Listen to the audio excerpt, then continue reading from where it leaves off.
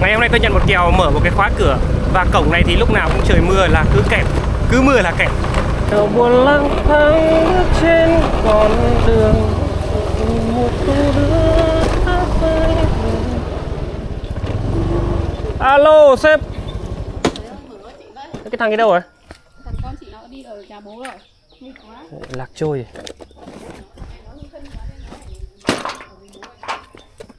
Không tải mình nó nữa Mất cười. Đúng không? Như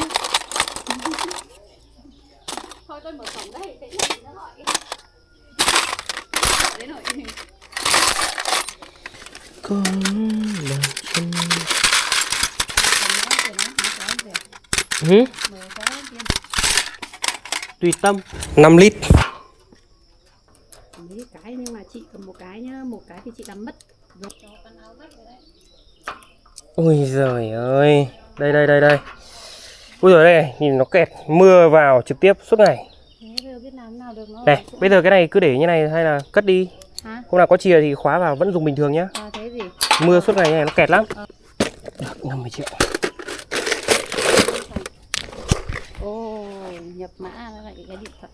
À đây đây đây. đây. Xong nhận. Rồi ok xin cảm ơn Thôi em đi đây Ừ, cảm ơn em nhiều nhé. Ok ok Ôi khiếp